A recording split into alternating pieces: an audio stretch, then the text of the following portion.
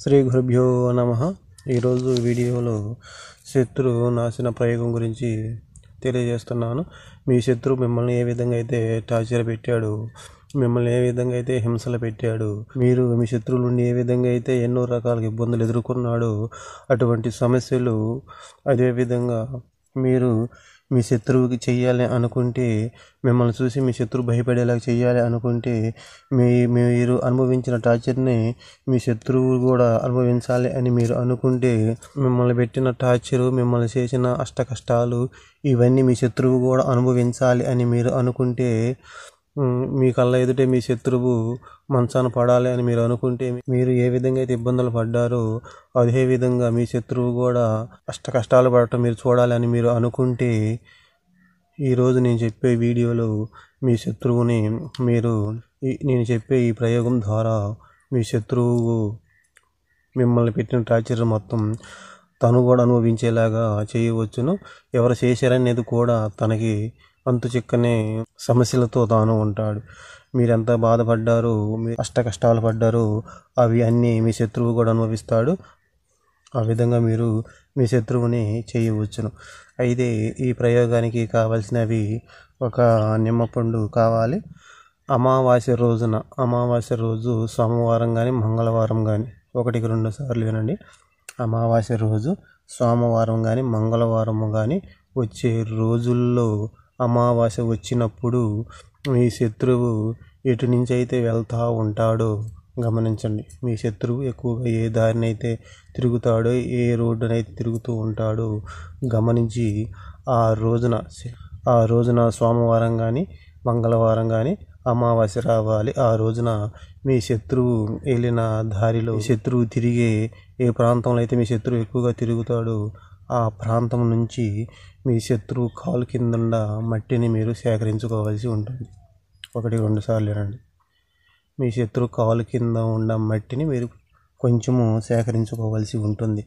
ఆ విధంగా మీరు సేకరించుకున్న తర్వాత మీరు ఒక నిమ్మ పండును తెచ్చుకోండి. ఒక నిమ్మ పండును తెచ్చుకొని మట్టి కుండ మట్టి కుండ ఒకదాన్ని తెచ్చుకోండి. ఈ విధంగా చిన్నగా ఉండేలా మట్టి కుండ దీని ఎగ్జాంపుల్ కోసం దీన్ని చూపిస్తున్నాను. మీరు ఈ విధంగా ఉండే చిన్న మట్టి కుండను ఒకదాన్ని మీరు తెచ్చుకోండి. అతని పేరు ఒక నిమ్మకాయ పైన రాయండి. అతని పేరు ఒక నిమ్మకాయ పైన రాయండి. ఇంకా మీరు ఏం చేయదు మీ పేరు అవసరం లేదు. అతని పేరు మాత్రమే రాయవలసి ఉంటుంది. మీ శత్రువు పేరు నిమ్మకాయ పైన రాయండి. ఈ విధంగా మీ శత్రువు పేరు ఒక నిమ్మకాయ పైన రాసుకోండి. రాసుకున్న తర్వాత ఈ మట్టిని ఈ మట్టిని ఒకటికి రెండు సార్లు చూడ నేనేం చెబుతున్నాను అనేది ఈ మట్టిని మీరు ఒక చిన్న మట్టి కుండను తెచ్చుకుంటారు. తెచ్చుకొని ఈ మట్టిని ఆ మట్టి కుండలో పోస్తారు. ఈ మట్టిని ఈ మట్టిని ఈ మట్టి కుండలో ఈ విధంగా పోస్తారు. మీ శత్రువు పేరు రాసిన నిమ్మకాయని దీంట్లో వేస్తారు. వేసిన తర్వాత మీరు ఒక నల్లని వస్త్రాన్ని తెచ్చుకోవాల్సి ఉంటుంది. మీరు ఒక నల్లని వస్త్రాన్ని తెచ్చుకోవాల్సి ఉంటుంది. నల్లని వస్త్రం ఒకటి కావాలి. అదేవిధంగా నేను ఎగ్జాంపుల్ కోసం ఈ విధంగా ఒక ఎర్రని గుడ్డ ఎర్ర వస్త్రాన్ని కట్టాను. మీరు ఈ విధంగా నల్లని వస్త్రాన్ని దానిలో దానిపైన వేసి మీరు నల్ల దారంతో ఒక నల్ల దారంతో ఈ విధంగా దాన్ని మీరు కట్టవలసి ఉంటుంది. నల్ల దారం తీసుకొని తీసుకొని ఈ విధంగా మీరు ఈ విధంగా దీన్ని బంధించేయండి ఈ విధంగా దీన్ని ఒక నల్లని వస్త్రం దీనిపైన కప్పి ఒక నల్లని దారంతో ఈ విధంగా మీరు దీనిలో ఈ విధంగా కట్టివేయండి